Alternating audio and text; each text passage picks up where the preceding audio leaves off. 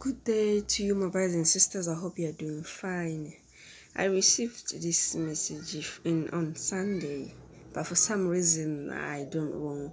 I just ignored it. Actually, I did make a video about that, but I ignored. I did not post it, and I don't know what happened. I think I ended up deleting that video. I don't know why I deleted it. Then on yesterday, I received the same message. Okay i received around one. Yeah around one day i received the same message but this time i just decided i should make a video on it once and for all and i should upload it on youtube.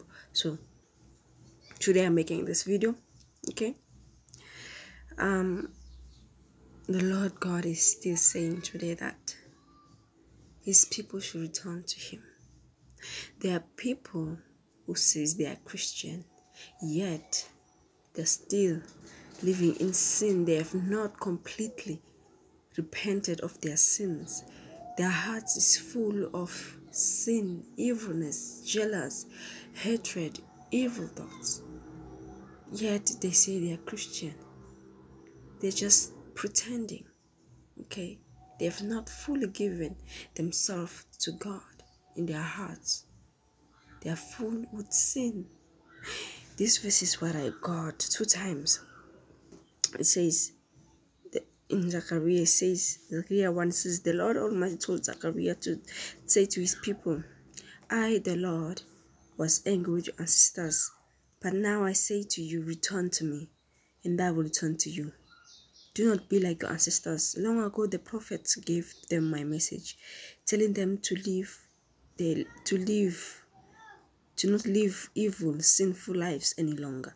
But they will not listen to me or obey me. Your ancestors and those prophets are no longer alive. Through my servants the prophets i gave your ancestors commands and warning.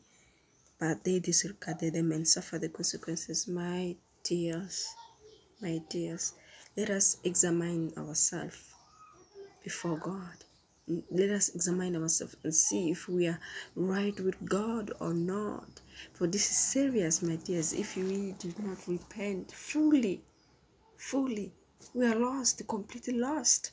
So let us examine ourselves, our own selves, our own lives to see whether we are right with God or not. Let us look inside of our hearts, please. This is a serious warning.